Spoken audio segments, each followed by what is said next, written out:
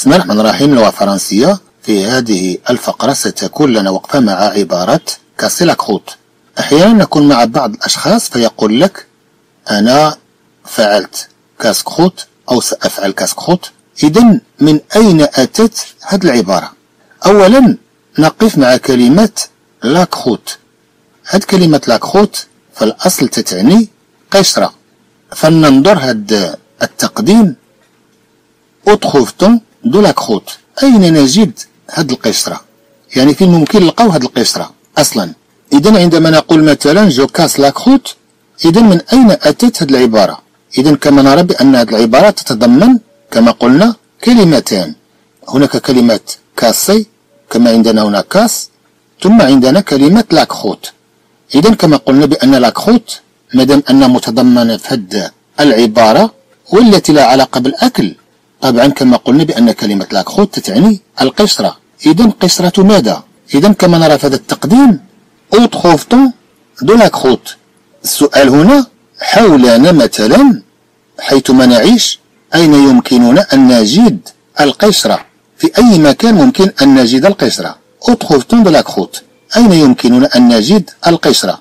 أولا autour de la terre autour de la terre حول الأرض. طبعا حتى نعرف بأن الأرض لها قشرة. إذا la croûte ممكن أن تعني قشرة الأرض. Ou bien sur une ancienne plaie يعني على جرح قديم كما نعلم بأن الجرح عندما يتختر الدم فتتكون قشرة. Ou bien sur de la lave en cours de refroidissement. Sur de la lave en cours de refroidissement. إذا نتكلم هنا عن la lave هذه ماشي عندها علاقة بفعل لاغي يعني غسالة. هذه كلمة تقال هكذا la lave المقصود بها الحمم. يعني ديك المعادن المنصهرة اللي تتخرج من واحد le volcan اللي تتخرج من واحد البركان. إذا هذيك الحمم إذا نتكلم عن تلك المواد الذائبة. إذا تسمى حمم وباللغة الفرنسية تسمى la lave إذا تسمى la lave sur de la lave en cours de refroidissement. أثناء التبريد. طبعا هي تخرج من هاد البركان يعني ساخنة جدا لكنها تأخذ في البرودة فتتكون عليها قشرة. إذا هل يمكن أن نجد هذه القشرة حول الأرض أو على جرح قديم أو فوق حمام أثناء البرودة؟ Sur de la lave en cours de refroidissement. الجواب oui. Dans les trois cas. Mais aucune n'est vraiment comestible. Mais aucune ولكن لا واحدة. إحنا ما عندناش mais aucun. لا أحد. ولكن عندنا mais aucune. ولكن لا واحدة n'est vraiment comestible. يعني أنها حقيقة صالحة للتغذية. هنا نتكلم عن كلمة ك adjectif كوصف. كما لو نقول هنا لا واحدة مأكولة. المقصود لا واحدة أنها صالحة للأكل. طبعا نقول أحيانا les comestibles يعني المقصود المأكولات. إذا تأتي كلمة جمع إذا المقصود بها المأكولات. هنا عندنا mais aucune n'est vraiment comestible ولكن لا واحدة المقصود لا واحدة من هاد الثلاث n'est vraiment أنها حقيقة comestible يعني أنها مأكولة كما نقول أو أنها صالحة للأكل. إذا ما دام أن القشرة التي حولنا في الحياة تدور حول هذه الأشياء الثلاث مثلا إذا فما محل كلمة croûte في عبارة كاسكروت والتي تعني الأكل؟ طبعا عندما نتكلم عن كاسكروت إذا نتكلم عن عبارة لها علاقة بالأكل. إذا فما علاقة هاد كلمة croûte بهاد العبارة؟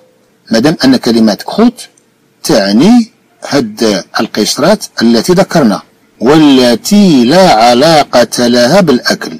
Alors on pourra donc يمكننا إذا إذا مادام هاد القشرة ما موجوداش من الثلاث on pourra donc يمكننا إذا طبعا الحال عندنا le verbe pouvoir on pourra donc se tourner يمكننا أن نستدير المقصود أننا نغير الوجهة لنبحث عن كلمة قشرة في مكان آخر. On pourra donc se tourner sans grand risque sans grand risque يمكننا أن نستدير ونغير الوجهة sans grand risque بدون خطر كبير. Le risque يعني الخطر. sans grand risque يعني بدون خطر كبير. المقصود هنا بدون مخاوف كبيرة de se tromper se tromper يعني أنك تخطئ. يعني بدون مخاوف كبيرة أن الإنسان يقع في الخطأ. أين يمكننا أن نستدير؟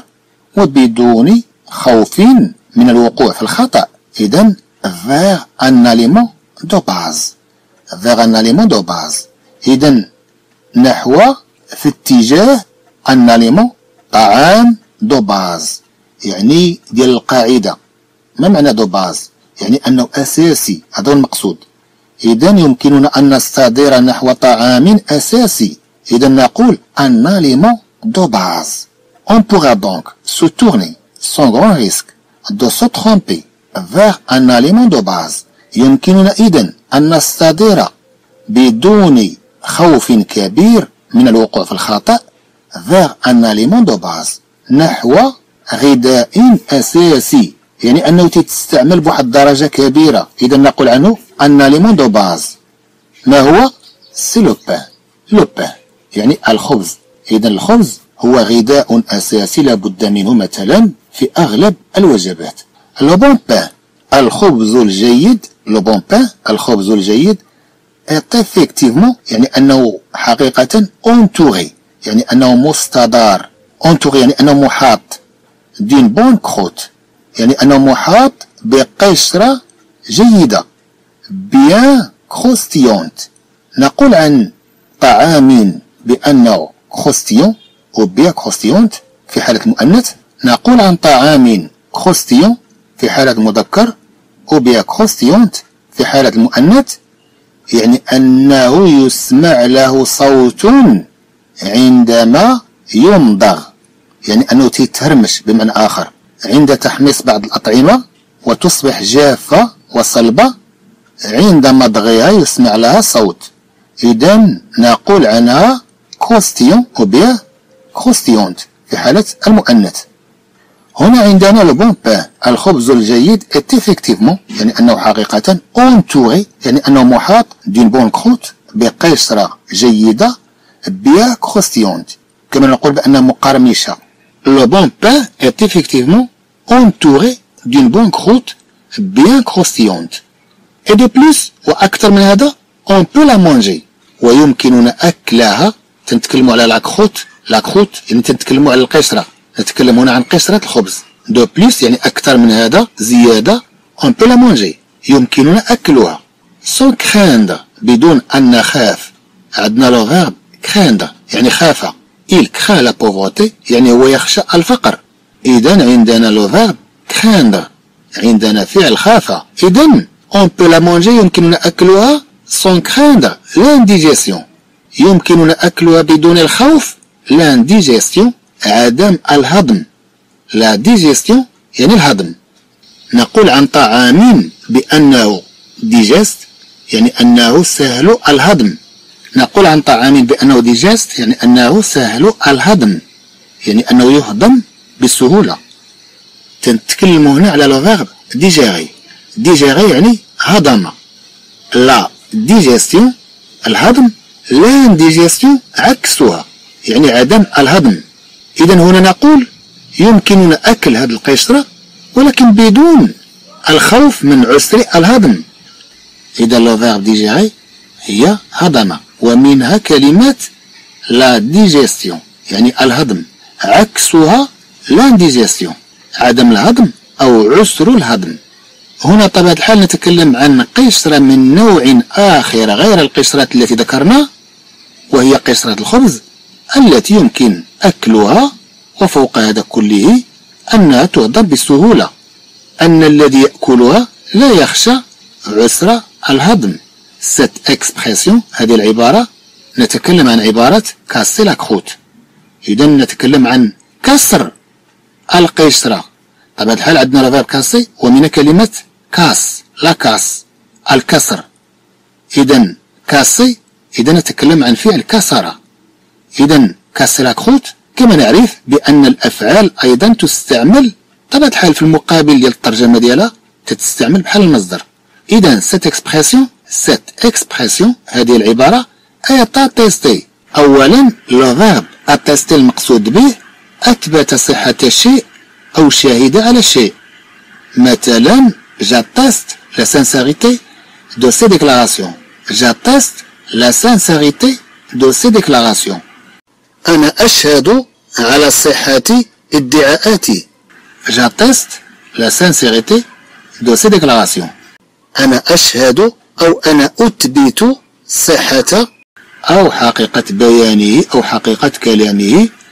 les ruines يعني نتكلم عن خراب أو كما نقول خرابات. la ruine يعني الخراب. les ruines نتكلم عن جمع خراب. les ruines attestent يعني أن هذا الخراب الذي نرى الآن attestent يعني أنه يدل. يدل على ماذا؟ la violence de l'incendie يدل على شدة الحريق. يدل على هول الحريق. la violence يعني العنف. ولكن المقصود هنا كما نتكلم عن عنف الحريق إذا نتكلم عن هول الحريق. إذا نتكلم عن شدة الحريق هنا. إذا les ruines attestent les ruines attestent يعني أن الخراب الذي نراه مثلا الآن أو كما نرى هنا عندنا جمع خراب attestent يعني أنه يدل أو يشهد على la violence de l'incendie يشهد على شدة أو على عنف عنف ماذا؟ على عنف الحريق. إذا les ruines attestent la violence de l'incendie لكن الذي عندنا في النص cette expression est attestée. إذا كما نتكلم بأن هاد العبارة est attestée.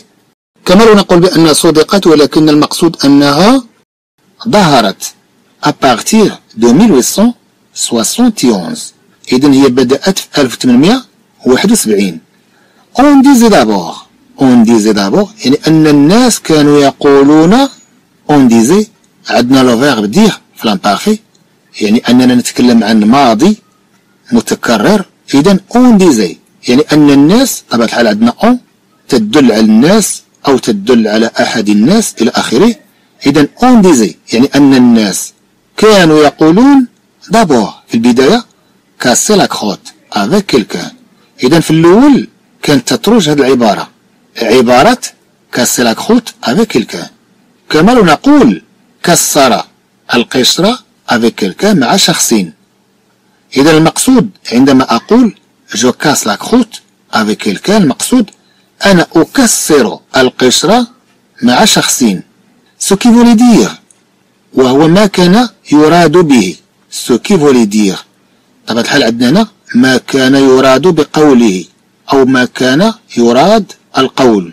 المقصود ما كان يراد بقوله ce qui voulait dire طبعا عندنا le verbe vouloir ثم عندنا le verbe dire ce qui voulait dire هذا الذي كان يراد بقوله وهو ما كان يعني عندما نستعمل عبارة casser la croûte avec quelqu'un هذا كان يعني حينئذ في ذلك الوقت partager son pain avec quelqu'un إذا العبارة كانت تعني partager son pain avec quelqu'un إذا عندما أقول je casse la croûte avec quelqu'un je casse la croûte avec أحمد je casse la croûte avec مصطفى المقصود بها je partage mon pain avec أحمد أو bien avec مصطفى هذا هو المقصود بهذه العبارة.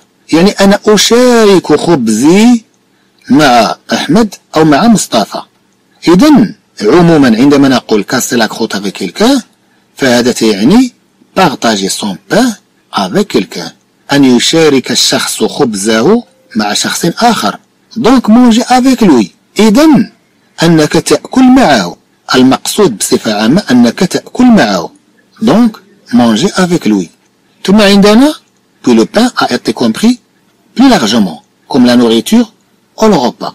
Puis ثم الخبز المقصود ثم أن الخبز a été compris.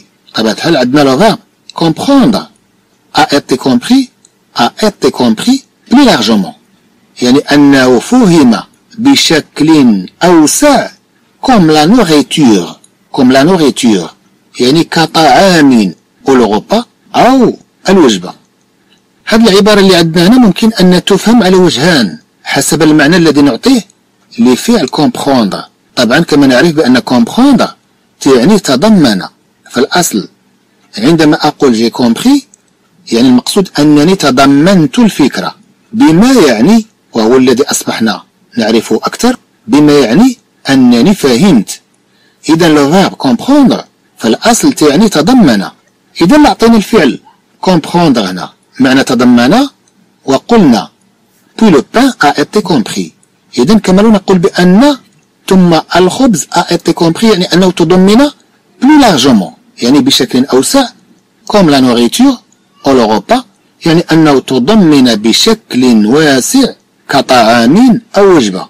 إذا كما نقول بأن الخبز أصبح بشكل واسع هو الوجبة أو هو الأكل.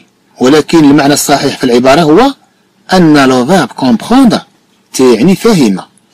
puis le pain a été ثم أن الخبز فهم بمعنى آخر largement بشكل أوسع comme la nourriture ou le يعني كطعام أو كوجبة. ما معنى هذا؟ معنى هذا بأن كلمة خبز لو بان يعني الخبز أصبح يطلق على باقي الأطعمة. هذا هو المقصود. إذا أصبح لفظ كلمة الخبز يطلق على باقي الأطعمة. تماما كما نقول نحن باللغة العربية فلان يجري وراء قطعة رغيف.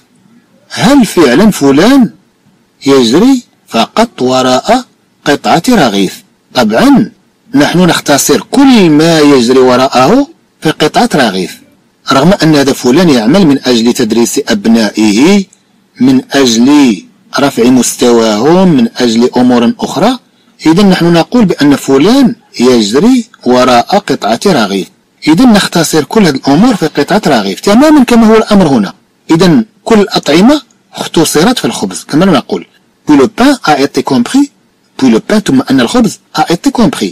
يعني أنه فهم حينئذ plus largement يعني بشكل أوسع. comme la nourriture ou le يعني أنه فهم بشكل أوسع. كطعام وكغداء. quant à casser quant à casser هنا عندنا عندما casser المقصود كما نقول حينما يصل وقت casser. المقصود فيما يخص كلمة casser. إذا كما نقول الآن نعود إلى كلمة casser. quant à casser si on casse effectivement la croûte d'un إذا إذا كنا نكسر بالفعل قشرة خبز dont on arrache dont on arrache un morceau عندما نقتطع جزءا. أننا نكسره باليد نأخذ منه قطعة. si on casse إذا نحن نكسر. effectivement يعني بشكل حقيقي. la croûte d'un pain قشرة خبز. dont on arrache arracher المقصود به أنك تقتلع شيئا. إذا نتكلم عن le arracher arracher يعني أنك تقتلع شيئا من مكان مرتبط به. arracher quelque chose يعني أنك تقتلع شيئا من مكانه المرتبط به. مثلا arracher les mauvaises herbes يعني أنك تقتلع النباتات الضارة.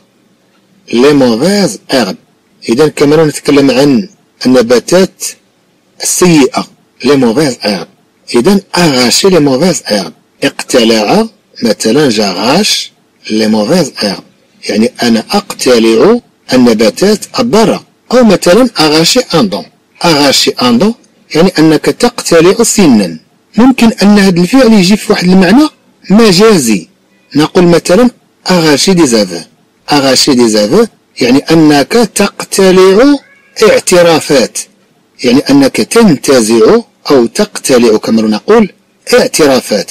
يعني أنك تتجر واحد الاعترافات من واحد السيد بواحد المجهود.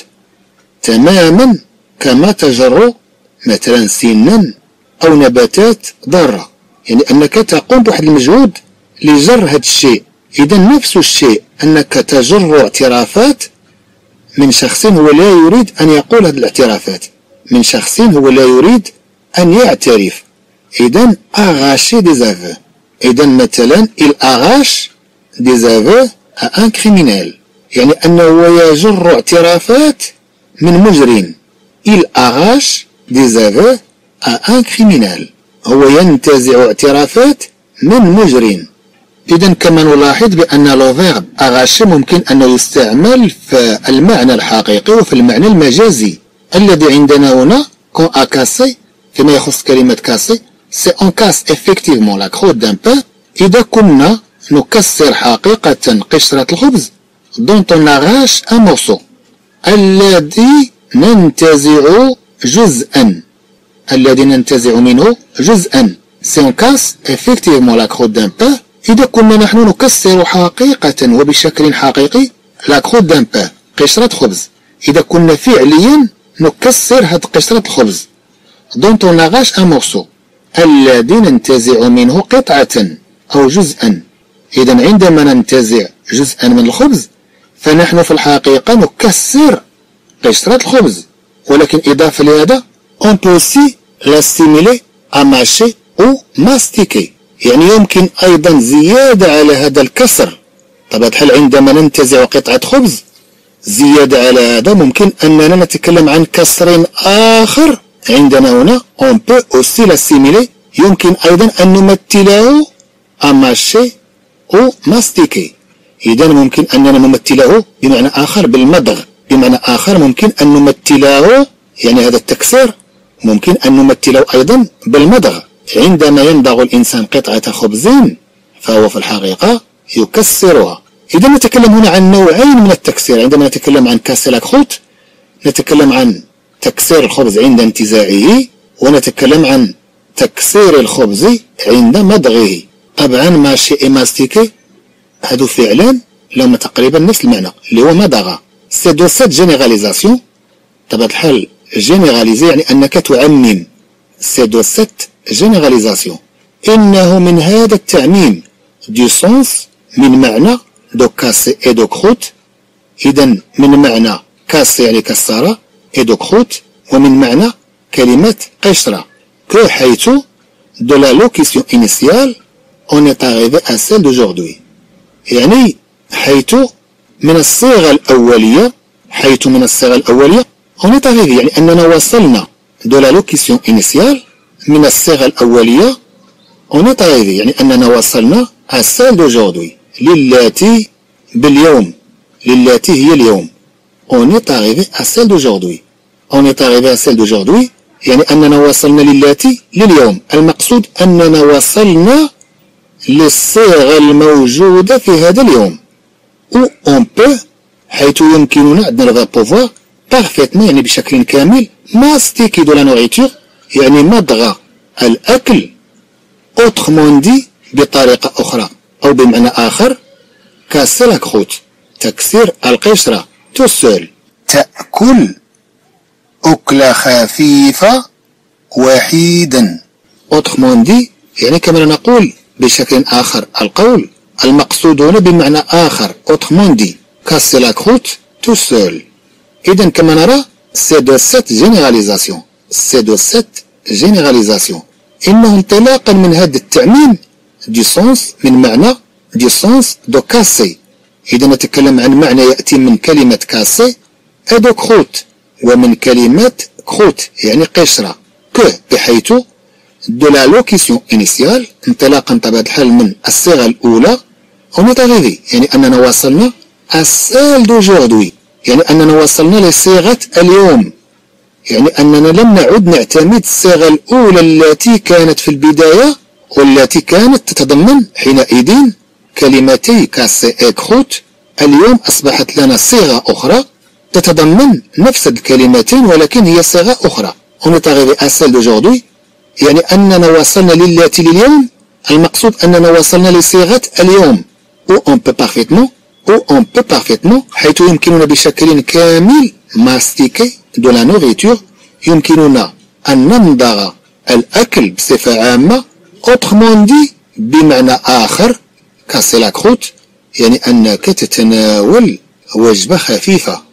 autrement dit بمعنى آخر casser la croûte tout seul كاسي لا كروت المقصود بها كسر القشرة أو تكسير القشرة. ولكن المعنى الذي أصبح عند اليوم عندما نقول هد الصيغة المقصود بأنك تتناول وجبة خفيفة تأكل أكلة خفيفة وحيدا يعني بدون أن تأكل مع شخص آخر كما كانت العبارة تعني في البداية. اليوم أصبح للعبارة معنى آخر. اليوم أصبح للعبارة معنى آخر هو أن تأكل وجبة خفيفة ووحيدا بدون أن تأكل مع شخص. إذا ما اكتفى بهذا القدر حياكم الله وإلى لقاء قادم بإذن الله.